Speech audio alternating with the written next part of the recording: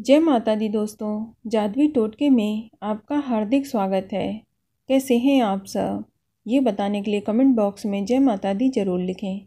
दोस्तों, आज हम इस वीडियो में बात करेंगे आमलकी एकादशी साल 2023 में कब मनाई जाएगी और इसकी पूजा का शुभ मुहूर्त क्या रहेगा। इसके अलावा हम आपको बताएँगे कि आमलकी एकादशी के व्रत पारण का शुभ समय क्या है और इसकी संपूर्ण पूजा विधि क्या रहेगी? लेकिन अगर अभी तक आपने हमारे चैनल जादवी टोटके को सब्सक्राइब नहीं किया है तो जल्दी से सब्सक्राइब करके बेल आइकन दबा दें। साथ ही इस वीडियो को लाइक करें और ज़्यादा से ज़्यादा शेयर करें। तो आइए शुरू करते हैं। दोस्तों, हिंदू धर्म के अनुसार हर माह में दो एकादशी व्रत होते हैं। फाल्गुन मास की शुक्ल पक्ष की एकादशी तिथि को आमलकी एकादशी कहते हैं। वैसे तो हिंदू धर्म के अनुसार सभी एकादशियों का काफ़ी महत्व है। लेकिन इन सभी एकादशियों में आमलकी एकादशी को सर्वोत्तम स्थान पर रखा गया है। आमलकी एकादशी के दिन श्री हरि विष्णु और आंवले के पेड़ की पूजा की जाती है। मान्यता है कि आंवले का वृक्ष भगवान विष्णु जी को अत्यंत प्रिय होता है।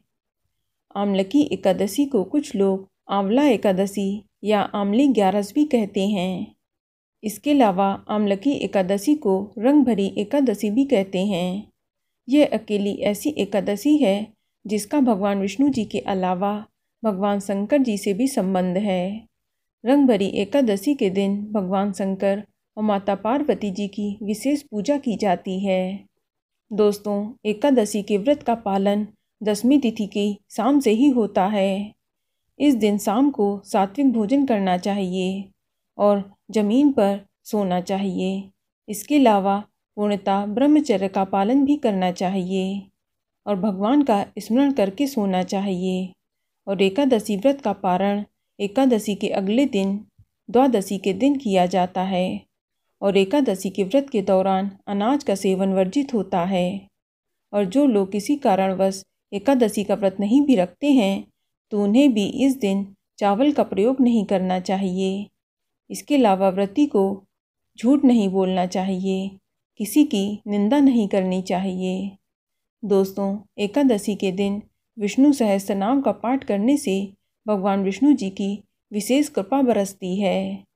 आपको बता दें कि आमलकी एकादशी के दिन व्रती को ब्रह्म मुहूर्त में उठकर स्नान आदि करके स्वच्छ वस्त्र धारण करने चाहिए।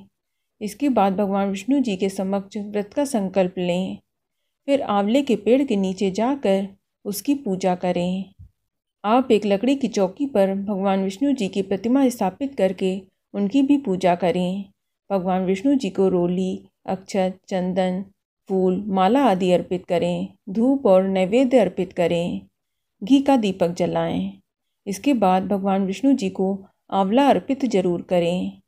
तत्पश्चात आप आंवलिकी एकादशी की व्रत कथा पढ़ें और आरती करके पूजा को संपन्न करें। और फिर अगले दिन, यानी द्वादशी के दिन, स्नान और पूजन के बाद किसी ब्राह्मण को भोजन कराकर सामर्थ्य के अनुसार दान देने के बाद अपने व्रत का पारण करें।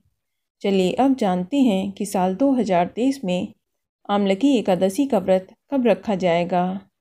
तो आपको बता दें कि आमलकी एकादशी का व्रत 3 मार्च 2023 दिन शुक्रवार को रखा जाएगा और एकादशी तिथि की शुरुआत 2 मार्च 2023 की सुबह छः बजकर उनतालीस मिनट पर होगी और एकादशी तिथि की समाप्ति 3 मार्च 2023 को सुबह नौ बजकर ग्यारह मिनट पर हो जाएगी और व्रत पारण करने का शुभ समय चार मार्च की सुबह छः बजकर चौवालीस मिनट से लेकर सुबह नौ बजकर तीन मिनट तक रहेगा और पारण तिथि के दिन द्वादशी समाप्त होने का समय चार मार्च की सुबह ग्यारह बजकर तैंतालीस मिनट पर रहेगा।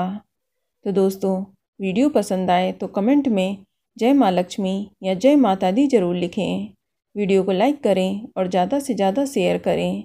साथ ही चैनल को सब्सक्राइब करें। धन्यवाद।